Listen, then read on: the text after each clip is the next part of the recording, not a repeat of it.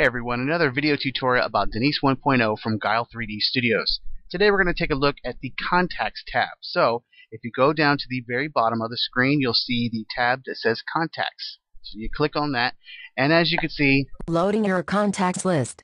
You have three contacts on your list. I don't have very many at the moment, just three, but you can add a very large amount. So you hit the green button on the bottom to add a new one. Now let's pretend that I know Michael Jordan and he's my buddy. So I'm going to click on the, the picture to add his picture, search my computer. There's a picture of my buddy Michael Jordan. I don't really know him, but that's alright.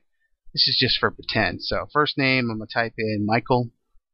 Second name, last name is Jordan.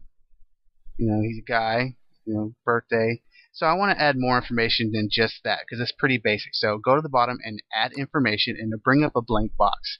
Now on the box to the left, you can add anything you want. There's a very large list on all the things that you can add, which is very, very cool. So this particular box, we're going to be very specific, and we're going to add his email address. So uh, this is not his real email address. I don't really know him. This is just for pretend. So Jordan at jordan.com or whatever. So add his email, but that's not it. I want to add more. So we'll click another one add information, and we'll do his Skype if we know his Skype, you know, fake Skype, add a new one, you know, what else we want to add. So we'll go back to the box, maybe, uh, I, I don't know, uh, add his phone number if uh, we know his phone number, add more if we want, continue, and maybe we'll throw in his, uh, his Twitter. So we'll do that. Now, again, this is not really Michael Jordan's information. This is just an example. When I'm done, I'll click the green button on the bottom to save it. Now,